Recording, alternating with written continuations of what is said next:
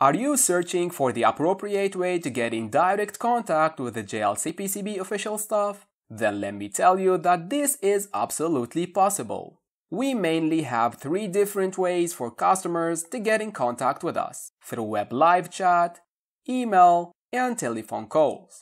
Everyone can use any of these available contact ways.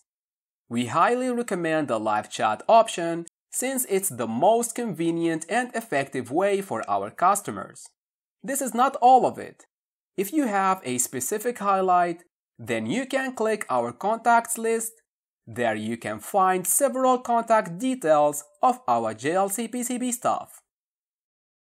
We will be always ready to better assisting you.